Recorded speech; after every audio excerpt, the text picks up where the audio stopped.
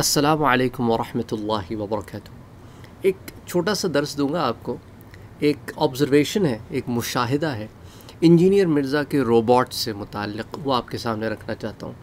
इस चैनल पर जब मैं वीडियोज़ रिलीज़ करता हूँ तो हमने कुरान की आयत, उसकी तफासिर, जो इंजीनियर मिर्ज़ा साहब ने गलत बयान की, उसकी तसही की उसको फिर अहदीस की रोशनी में, साहबा के अकवाल की रोशनी में, ताबईन के, फ़ुकहा के, मुजतहिदीन के, उसकी फ़हम जो है, वो लोग जो सही मानों में दीन में अक्ल व फ़रासत रखते हैं, उन्होंने जो उसकी तफ़हीम बयान की, वो रखी अदीस मुबारक रखी। इस तरह अदीस मुबारक की शरह में जो दूसरी हदीस मुबारक, जो दूसरी कुतुब हदीस में आती हैं, वो रखी, सहाबा के अकवाल रखे।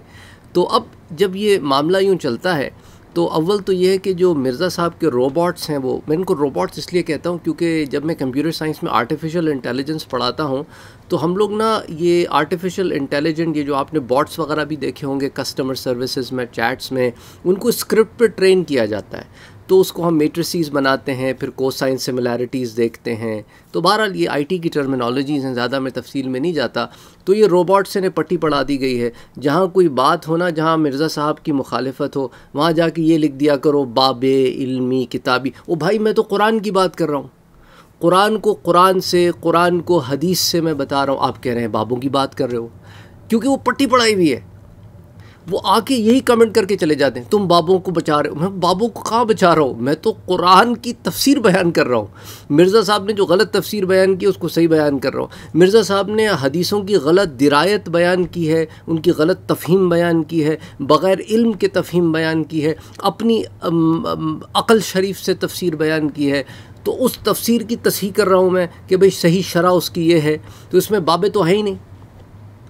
भाई, ये तो सहाबा कराम ने हुजूर सल्लल्लाहु अलैहि की बाज़ अहदीस मुबारक से बाज़ अहदीस मुबारक को खोल रहे हैं। इधर बाबे किधर आ गए। लेकिन वो ये पट्टी पड़ी हुई है। जब हम कहते हैं, जी, यहाँ पर तो हम साहबा की बात कर रहे हैं या तो हम ताबेन की बात कर रहे हैं या तो हुजूर की हदीस की बात हो रही है या तो कुरान की आयत की बात हो रही है। अच्छा हज़रत अली करम अल्लाह वज़ू के अकवाल मिर्ज़ा की फहम से अलग हो जाए तो फिर इसके जो रोबोट्स हैं ना, जो पट्टी पड़ी हुई है, फिर क्या करते हैं, आए बाएँ शाए करना शुरू कर देते हैं। वो जी मज़ार पे ये और वो भाई मज़ार की बात ही नहीं हो रही है। जो बात हो रही है, इस पर बात करो। वो नहीं, क्योंकि पता है कि मिर्ज़ा जी जो क्लीन बोल्ड हो गए हैं जी स्टंप हो गए हैं या क्लीन बोल्ड हो गए हैं जी तो अब मिर्ज़ा जी को कैसे बचाएँ? अच्छा चक्कर सारा ये है कि ये इतने नफ्स परस्त लोग हैं, ये मिर्ज़ा को बचाने में लगे रहते हैं, बजाय इसके कि जब हक सामने आ गया है तो मानो। नहीं, हक नहीं मानना।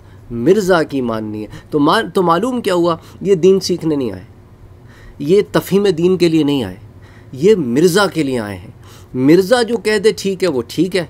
मिर्ज़ा जो कहते गलत है, वो गलत है। अगर उसकी सही तफ़ीम पेश की जाए तो ये देखते हैं जी, मिर्ज़ा जी क्या कह रहे हैं? वो भाई, मिर्ज़ा जी क्या कह रहे हैं? नहीं, असल चीज़ कुरान हदीस होती है। मिर्ज़ा जी नहीं होते। तो इसलिए मैं इनको कहता हूँ, ये रोबोट्स हैं। अच्छा जब इनका कहीं कोई बस नहीं चलता ना तो बात डाइवर्ट करने की कोशिश करते हैं। और जब उधर भी बस नहीं चलता तो डिसलाइक करके चले जाते हैं। डिसलाइक करके चले जाते हैं या इनको कुछ ना कहो, तुम लोग जलते हो और भाई जलते नहीं है, इसलाह कर रहे हैं। इसलाह कर रहे हैं। मतलब इसीलिए कहते हैं ना, वो एक चैट है। जिसके अंदर हमने फ़ीड कर दिया है कि ये रिस्पॉन्सेज ही आ सकते हैं। वो वही रिस्पॉन्सेज में से कोई एक रिस्पॉन्स पिक करते हैं दे के चले जाते हैं।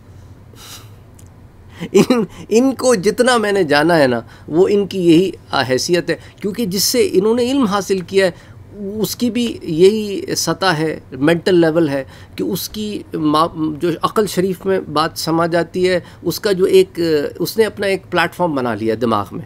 उस प्लेटफॉर्म में जो चीज़ उतर जाती है, वो उतर जाती है। जो चीज़ नहीं उतरती, उसको फिर वो चेंज करना शुरू कर देता है। अच्छा कभी एक तरफ़ से एक आलिम को पकड़ता है, दूसरी तरफ़ से दूसरे आलम को पकड़ लेता है। क्योंकि अपना तो कोई ग्राउंड ही नहीं है। अपना तो ग्राउंड ही कोई नहीं है। खैर बहुत सारी और बातें उस पर बात नहीं करते, हम तो आहिस्ता आहिस्ता आहिस्ता आहिस्ता आपके सामने उसकी जो उसने गलत पट्टियाँ लोगों को पढ़ाई हैं, उसके ऊपर से उकदे उठा के आपके सामने सही बात रख रहे हैं। जिसको नहीं पसंद आती, उसको हम ज़बरदस्ती तो नहीं कर सकते कि भाई कुरान कहता है, कुरान कहता है, ला इकरा फिद्दीन दीन में ज़बरदस्ती तो है नहीं। तो अब हम आपको दारोगा बन के डंडे मार के तो सही बात नहीं समझा सकते। हमारा काम है, वमा अलैना इल्लबलाग कि आप तक सही बात का पहुँचा देना। और देखो ना जा हक़ व ज़हक़ल बातिल। इन बातिल का ना जहूक़ा। बड़े सिंपल सी बात है, हक़ आ गया, बातिल मिट जाएगा। बातिल तो मिटने के लिए ही है। तो ये गलत तावीलात और दीन में तहरीफ़ और मुख्तलिफ़ ऐसे इशूज़ उठाना, ये इशूज़ उठाता है, ये फसादी आदमी, इसलिए मैं इसको फितना कहता हूँ। क्योंकि इशूज़ उठाता है जो नहीं होते। और आग लगाता है, और इशू बनाता है उन चीज़ों को जो इश्यूज़ नहीं होते तो ऐसे लोगों को कहते हैं फितना, फसादी। और अल्लाह क्या कहता है? इन अल्लाहबुल मुफसदीन। अल्लाह फसाद लगाने वालों को पसंद नहीं करता। तो अब आप इसीलिए देखें कि लानतुल्लाकादिबीन भी कुरान कहता है, क्योंकि ये झूठ बहुत बोलता है और ये फसाद लगाता है तो ये दोनों कैटेगरीज़ में पूरा उतरता है। तो अब आप देखें कि आप इतबा एक फासद, जो मुफसद है, उसकी कर रहे हैं, जो ज़मीन में फसाद लगा रहा है और एक फ़ितना परवर की कर रहे हैं, जो ज़मीन में फितने लगा रहा है और झूठ पे झूठ बोल रहा है और कुरान कहता है कि अहले इल्म से पूछो जब तुम्हें पता ना हो। फस अलू अहल ज़िक्र इनकुन तुम ला तलमून और आप लोग क्या कर रहे हैं? आप लोग उन लोगों से जाके इल्म पूछ रहे हैं जिन्हें खुद खबर नहीं है। तो अटकल पच्चू, कभी कोई फक्की दे रहा है, कभी कुरान करीम की तफसीर पेश की जा रही है। उसके अंदर नॉन सीरियसनेस इससे ज़्यादा बेअदबी, बेगुस, और गुस्ताखियाँ और क्या होंगी? लोगों पर तो गुस्ताखियाँ और बेअदबियाँ तो हैं ही। गुस्ताख नबी, ये शख्स है। गुस्ताख साहबा, ये शख्स है शख्स है। ये गुस्ताख अलिया अल्लाह, ये शख्स है। तो एक बेअदब आदमी से इल्म सीख रहे हो यार, कितना गिर गए हो यार। ये मुझे पता है, इनको ये बातें मेरी हज़म नहीं होंगी।